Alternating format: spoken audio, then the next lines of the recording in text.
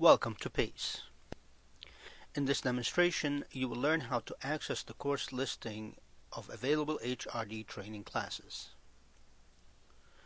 Once you are logged into PACE, find and click the Library button located in the left navigation bar.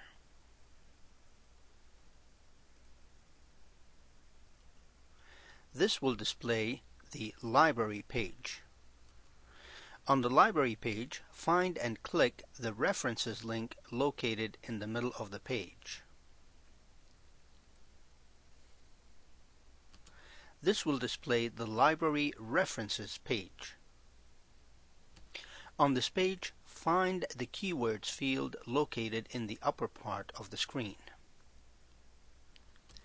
Click once inside the Keywords field, type the letters HRD, and click the search button located to the right.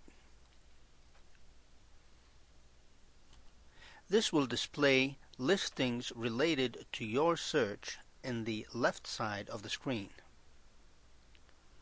At this time our search result indicates three records found.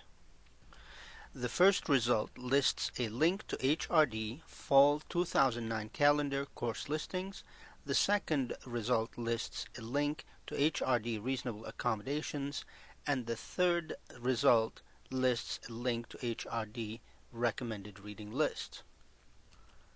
Click on the link that indicates course listings. This will prompt a new window to open on your screen.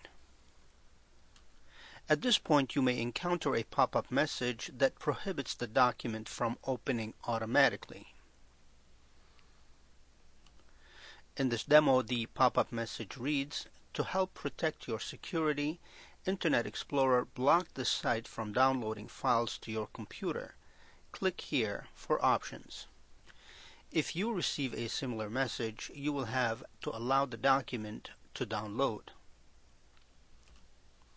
If you are using Internet Explorer to access the Internet and you receive a similar message as displayed in this demo, click on the message and choose the Download File option. This will prompt a file download window to open. Click on the Open button located on the left.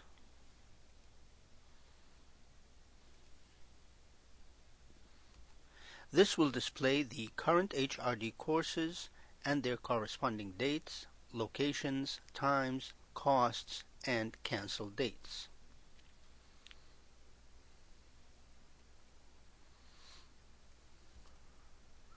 Congratulations, you have completed the demo on how to view HRD training and learning development course list.